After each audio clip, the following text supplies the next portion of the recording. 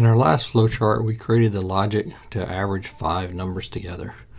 Um, and that could pretty much be any numbers from uh, things like grades uh, to the weights of five different things, uh, anything we want to average together. Um, but may not be totally practical for every case. Let's say it was grades, um, and so we want to average five grades together. Um, this works for that, but let's say we have a different class and we maybe had six exams. We would have to change the logic here uh, and go in and change this to six. Uh, if we were trying to average in, maybe it's a teacher trying to use this and they're averaging the whole class grades together and maybe they have 20 students, they would have to go in uh, and change that logic.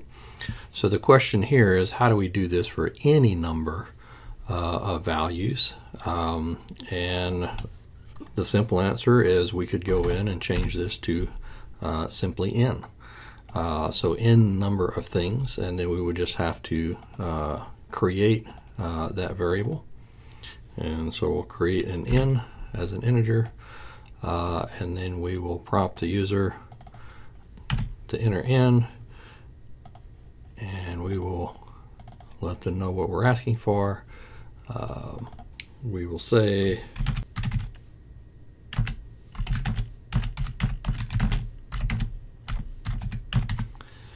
something like this, enter the number of items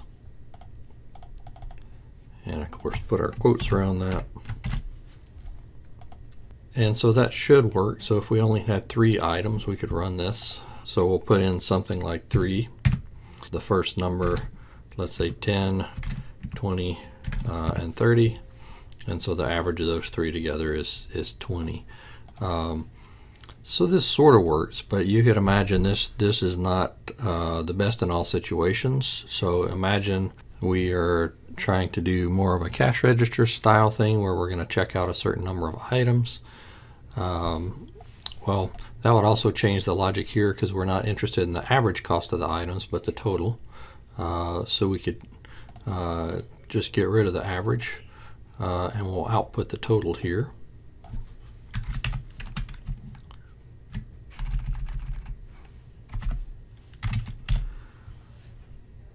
And so we'll just say the total is the, sum. And we may add a prompt here for the user uh, to say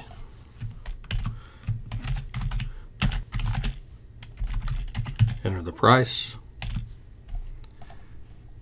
And of course that would take it, but uh, the problem then is we have to, um, you know, at the checkout say how many items do you have?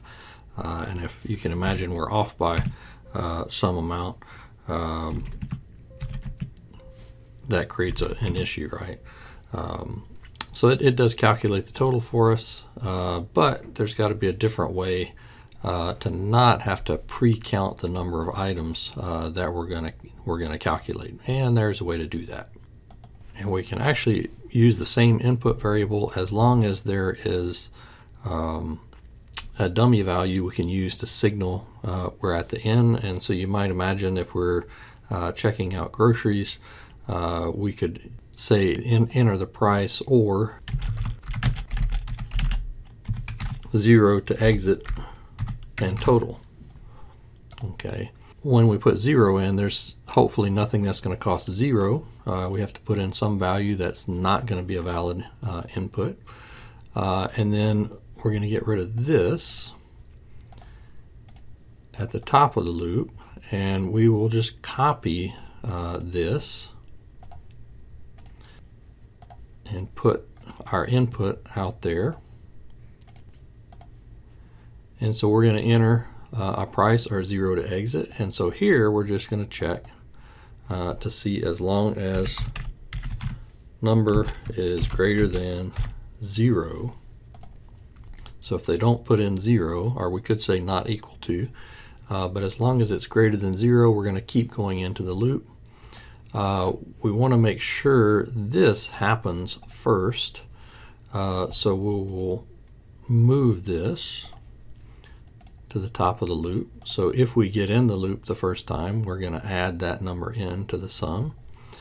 Um, we don't really need to count anymore, uh, so we can just remove that uh, if we wanted to, we would put that up at the top. So again, we count the first number.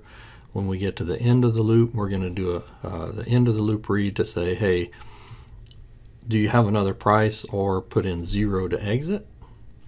And so if we put in zero, uh, it, it's gonna it's not gonna be less than zero, so it's gonna go out uh, and and do our total. So let's check this out and see how this works. So it says enter a price or zero to exit. Let's just put in 10. Uh, we'll put in another one in 20 and say let's that's it. So we're going to put zero in. Uh, that'll exit. And so it gives us our total of 30. And so this is a little bit better way uh, to do uh, any number uh, of items uh, as far as the logic goes.